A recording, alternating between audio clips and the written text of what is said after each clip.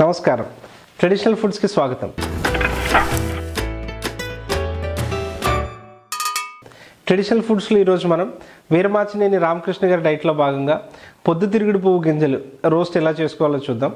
పొద్దుతిరుగుడు పువ్వు రోస్ట్ చేసుకోవడానికి కావాల్సిన పదార్థాలు పొద్దుతిరుగుడు పువ్వు గింజలు నెయ్యి. పొయ్యి వెలిగించుకొని ఒక స్పూన్ నెయ్యి వేసుకుందాం.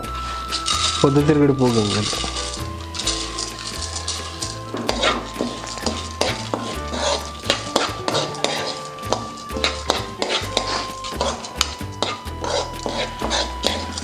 పొద్దుతిరుగుడు పువ్వు గింజలు ఆరోగ్యానికి చాలా మంచిదండి.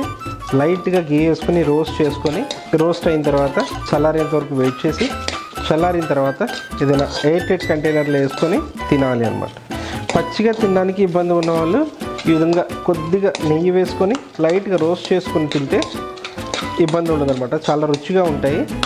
రోస్ట్ అయిపోయండి. కొంచెం చల్లారాక తీసేద్దాం.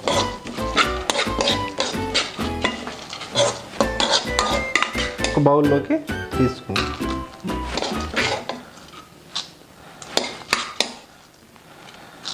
చూసారు కదా? పొద్దుతిరుగుడు పువ్వు గింజలు ఏ విధంగా రోస్ట్ చేసుకోవాలో? మీరు కూడా ఈ విధంగా రోస్ట్ చేసుకొని చల్లారిన తర్వాత ఎయిట్ ఎయిట్ కంటైనర్లు భద్రపరిచి రోజు తినండి. Please subscribe traditional foods thank you